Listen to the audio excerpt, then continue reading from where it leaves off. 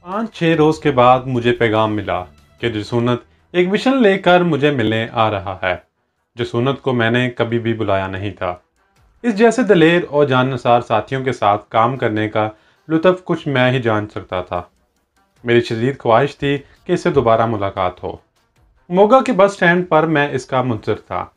میں مقررہ وقت سے قریباً آدھا گھنٹہ پہلے موگا پہنچ گیا تھا۔ موگا سے میری بہت تلخ یادیں وابستہ تھیں۔ لیکن فی الحال وہی ایک گوشہ آفیت ہمیں اس علاقے میں میسر تھا، ورنہ تو ہر جگہ شکاری کتے ہمارے تعقب میں تھے۔ اس مرتبہ جس حیثیت میں میں یہاں آیا تھا، کسی کی مجال تھی کہ مجھ پر شک گزر سکے۔ کیونکہ اب میں ایک معزز بھارتی ناگرک تھا۔ وقت مقررہ سے صرف تین چار منٹ قبل میں مقررہ مقام پر پہنچ گیا۔ گیارہ بج چکے تھے، لیکن جسونت کا نام نشان نظر نہیں آ رہا تھا۔ میرے دل میں طرح طرح کے خدشات سر اٹھانے لگے۔ تربیت کے مطابق جیسے ہی طے شدہ وقت ملاقات پورا ہوا، میں نے فوراً اس جگہ سے پرے ہٹ جانے کا ارادہ کر لیا۔ اس طرح میں کسی محفوظ گوشے میں کھڑا ہو کر مزید کچھ منٹ تک حالات کا جائزہ لینا چاہتا تھا۔ ابھی اپنی جگہ سے گما ہی تھا جب اچانک کسی کے ہاتھ کا دباؤ مجھے اپنے کندھے پر محسوس ہوا۔ اس کے ساتھ ہی کسی کا خالص انگریزی لہجے میں فکرہ سنائی دیا۔ ہائے پرکاش!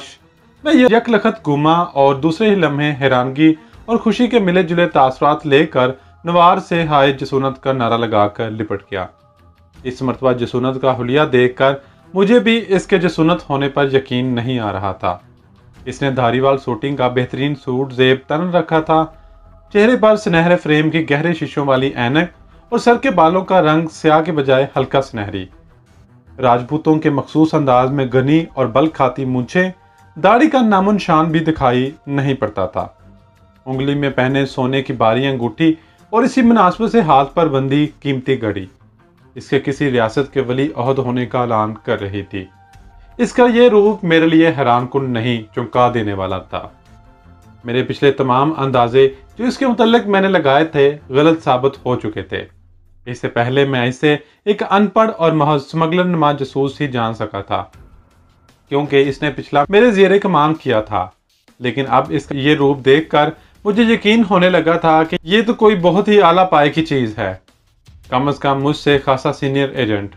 بڑی بے تکلفی سے اس نے میرا حال دریافت کیا اور ہم دونوں اپنی دانست میں موگا کے سب سے بہترین ہوٹل کی طرف روانہ ہو گئے۔ شرمان جی میرا شبھ نام جسونت نہیں، ٹھاکر رگبیر سنگھ ہے۔ جسونت تو عزیز و کارم مجھے پیار سے کہتے ہیں۔ آپ چونکہ میرے بچپن کے دوست ہیں۔ بے کانیر میں ہم اکٹھے ہی میٹرک تک پڑے تھے۔ اس کے بعد میں تو یورپ چلا گیا، جبکہ آپ انڈیا میں ہی دھکے کھاتے رہے۔ یہ الگ بات ہے کہ آپ بھی اعلیٰ تعلیم یافتہ اور اپنا کاروبار رکھتے ہیں۔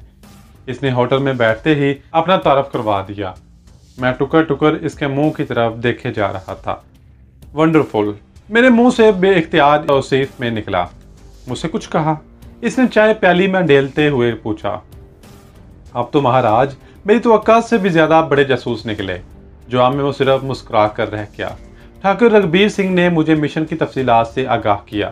تیسرے روز اس کی دہلی میں موجود گرل فرینڈ کے پتا جو ونگ کمانڈر تھے اور ایک اہم نوعیت کی کانفرنس میں شرکت کرنے والے تھے، اس کانفرنس سے متعلق فیصلوں کے انہوں نے نوٹس تیار کرنے تھے۔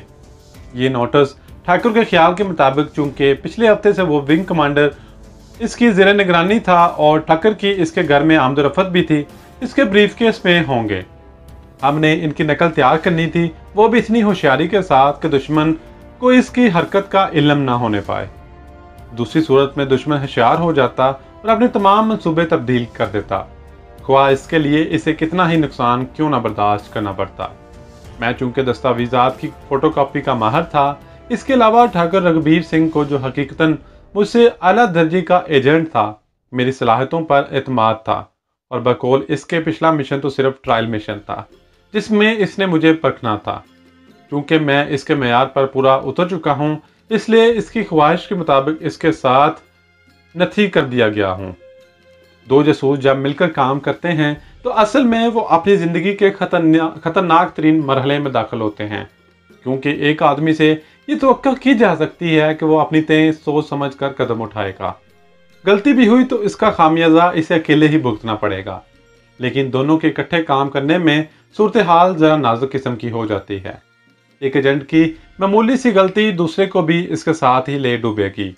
گو کہ ایک دوسرے پر اعتماد کیے بغیر اکٹھے کام کرنا ممکن نہیں ہوتا۔ اس کے باوجود دونوں جاسوس اپنے ذاتی تحفظ کے لیے اور اپنی ٹریننگ کے مطابق بھی اس بات کے پابند ہوتے ہیں۔ وہ ایک دوسرے کو اپنے سیف ہاؤس اور اپنے متعلق کسی بھی بات سے آگاہ نہیں کرتے، جو ایک کی گرفتاری کی صورت میں دوسرے کے لیے پریشانی کا باعث بن سکے۔ حتیٰ کہ انہیں ایک دوسرے کو اپنا اصلی نام بتانے کی اجازت نہیں ہوتی۔ دوران تربیت ہی جاسوس کا مزاج کچھ اس طرح کا بن جاتا ہے کہ وہ ایک دوسرے سے لاکھ محبت کرنے کے باوجود سوائے اپنی ضرورت کے اور کسی چیز میں دلچسپی نہیں لیتے۔ اگر ٹھاکر مجھے اپنی گرل فرینڈ کے گھر کارنامہ کرنے لے جا رہا تھا، تو اس لیے کہ اس کے بعد اس سے پردہ سکرین سے ہٹ جانا تھا۔ ویسے بھی اس نے اپنا تعارف ونگ کمانڈر کی بیٹی سے ایک سیلانی آدمی کے روپ میں کروایا تھا۔ اس کا کوئی خاص ٹھکانہ نہیں تھا۔ آج یہاں، کل وہاں۔ اگر ونگ کمانڈر کی سپوتری اس کی دوست بنی تھی، تو صرف اس کی دولت اور خاندانی وجاہت کی وجہ سے۔ کیونکہ اعلیٰ سوسائٹی کی بھارتی مہیلاؤں کو ایسے پرنس کی تلاش رہتی ہے، جن کی میت میں کسی کلب میں بیٹھ کر وہ اپنی ہجولیوں میں نہ صرف روب گانٹ سکیں بلکہ انہیں جلا کر خاک بھی کر سکیں۔ ظاہر ہے، اس مقصد کے لیے اس کی فرینڈز کو رگبیر سنگھ سے زیادہ اہم شخصیت اور کون سی ملتے؟ مہاراجہ بڑودا تو اس کا دوست بننے سے رہا۔ تھوڑی دیر بعد ہی ہم واپس لدھیانہ جا رہے تھے، جہاں سے ایئر انڈیا کی ایک فوکس فرینڈشپ، جہاز میں بنگالی ایئر ہوسٹسوں کی مہمانداری سے لطف اندوز ہوتے ہوئے ہم قریباً شام کے قریب دہلی ایئرپورٹ پر لینڈ کر گئے۔ اس اسنام میں میرے جسم پر بھی ایک قیمتی سوٹ منتقل ہو چکا تھا۔ ٹھاکر تو پائپ سے جی بلہا رہا تھا جبکہ مجھے بادل ناخواستہ قیمتی سگار کا سہارا لینا پڑا۔ ایک ہی سگار نے چاروں طبق روشن کر دیے تھے۔ میں نے ٹھاکر سے مدد کرنا چاہی تو اس نے صرف اتنا کہہ کر میری تسلی کر دی۔ شریمان، آپ کسی گردوارے میں بجن خطا نہیں سننے جا رہے۔ دہلی میں بطور ایک اہم شخصیت قیام فرمانے جا رہے ہیں۔ دہلی کے ایک فائیو سٹار ہوٹل میں پہلے ہی ایک شاندار double bed room Thakur Raghubir Singh کے نام پر بک ہو چکا تھا۔ جیسے ہم ایئر انڈیا کے رامدہ بس سے اتر کر لاؤنج میں داخل ہوئے، ایک پتلون بردار شری متی جی تیزی سے ہماری طرف بڑھی۔ Hi Thakur how are you وہ تمام احتیاطیں بلائے طاق رکھ کر ٹھاکر سے بغل گیر ہو گئی۔ ٹھاکر نے جواب میں فائن کہتے ہوئے، اسے بھی کچھ زیادہ ہی گرم جوشی کا مظاہرہ کیا تھا۔ My friend mister Prakash تہوترا۔ اس نے پرکٹی کے الگ ہوتے ہی اس سے میرا تعارف کروایا۔ مینا چکرورتی ونگ کمانڈر کی سپوتری نے گرم جوشی سے مجھ سے مسافہ کرتے ہوئے اپنے ماتھے پر گری بالوں کی لٹ کو جھٹکا دے کر الگ کیا۔ اس جھٹکے نے جہاں اس کے تمام اعضاء کو ہلا کر رکھ دیا تھا، وہاں میں بھی دہل کر رہ گیا تھا۔ کم ان ڈارلنگ۔ اس نے ٹھاکر کا ہاتھ پکڑ کر اپنی طرف گسیٹا ہمارے بریف کیس ایک باوردی شوفر نے اٹھا لیے تھے۔ مینا چکرورتی نے ہماری رہنمائی پارکنگ ایریا میں کھڑی ایک قیمتی مرسڈیز کار کی طرف کی۔ مودب شوفر نے ہمارے بریف کیس ڈگی میں رکھے اور بڑے احترام سے کار کے دروازے کھول کر ہمیں اندر بٹھایا۔ ٹھاکر اور مسز چکرورتی تو پیچھے ہی بیٹھے تھے۔ میں دل پر پتھر رکھ کر اگلی سیٹ پر بیٹھ گیا۔ کار فراٹے بھرتی ونگ کمانڈر کے شاندار بنگلے کی طرف جا رہی تھی۔ نہ جانے ٹھاکر نے ان کو کس چکر میں پھنسا رکھا تھا۔ اس گھر کا تو ایک ایک فرد اس پر مر مٹا جا رہا تھا۔ کیا نوکر اور کیا مالک۔ تھوڑی دیر بعد ہی مجھے اس کی وجہ بھی سمجھ آ گئی، کیونکہ جیسے ہی مینا چکرورتی ٹھاکر اور میرے لیے چائے کا انتظام کرنے باہر گئی، ان کے نوکروں کی آمد شروع ہو گئی۔ ٹھاکر کو ہر آنے والا جھک کر پرنام کرتا اور جواب میں دس بیس روپے وصول کر کے اسے دعائیں دیتا چلا جاتا۔ یہ حضرت خاصے منجے ہوئے کھلاڑی دکھائی دیتے تھے۔ انہوں نے تو مجھے بھی مات کر دیا تھا۔ انکل سے ملنے کی ٹھاکر کو شدید خواہش تھی، جو ابھی تک میٹنگ سے واپس نہیں آئے تھے۔ اس لیے اس نے ہوٹل جاتے ہوئے بھی مینا چکرورتی سے بار بار درخواست کی تھی کہ وہ انکل سے آتے ہی انہیں مطلع کر دے۔ جب اس نے ٹھاکر کو پپا کے آنے تک ٹھہرنے کو کہا تو اس نے معذرت کر دی، کیونکہ ہوٹل میں بہت سے لوگ اس کے منتظر تھے۔ تھوڑی دیر بعد ہی شوف ہوٹل چھوڑنے جا رہا تھا۔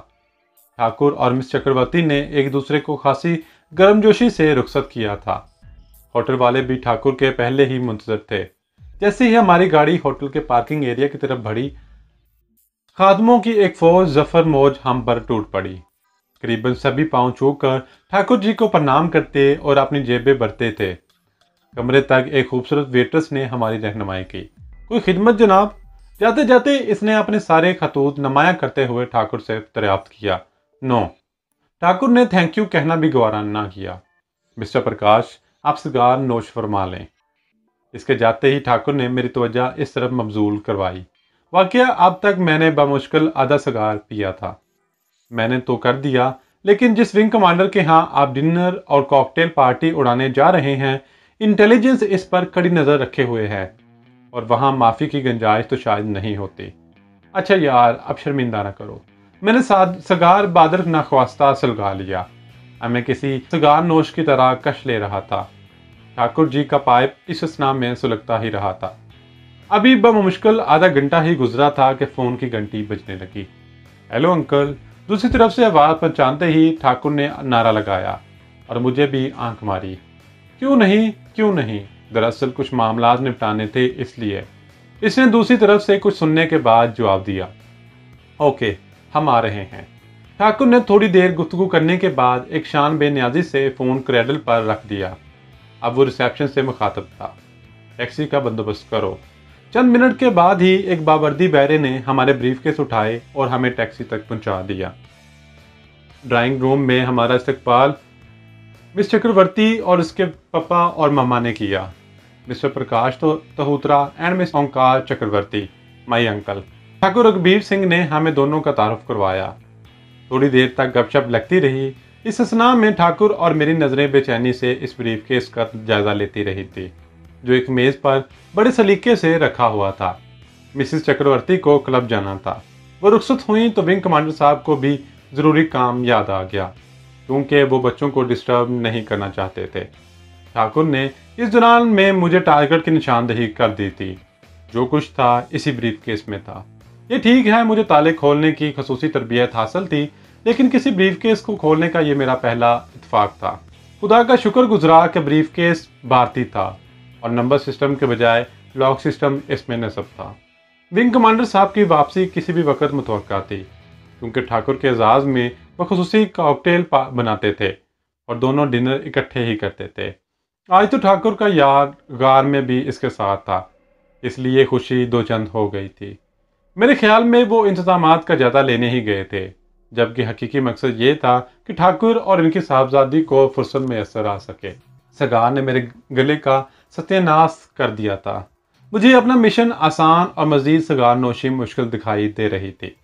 ونگ کمانڈر کے جاتے ہی ٹھاکر نے میرے کندھے کو چھو کر مخصوص اشارہ کیا اور خود مس چکرورتی کا ہاتھ تھام کر بڑے مستانہ انداز میں اپنے پہلو میں لیے باہر نکل گیا۔